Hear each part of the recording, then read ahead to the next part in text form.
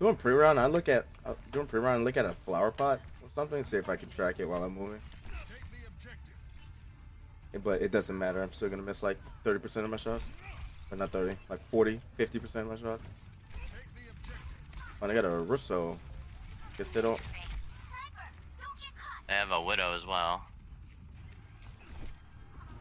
Yep, and she literally just stood still. Stood still ADSing that corner and the fucking ferret didn't kill her. Wasn't looking for anybody but me. I don't... I just don't even...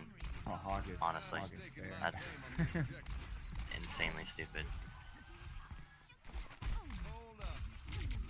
Oh, Oh my god! nice, You! You! You!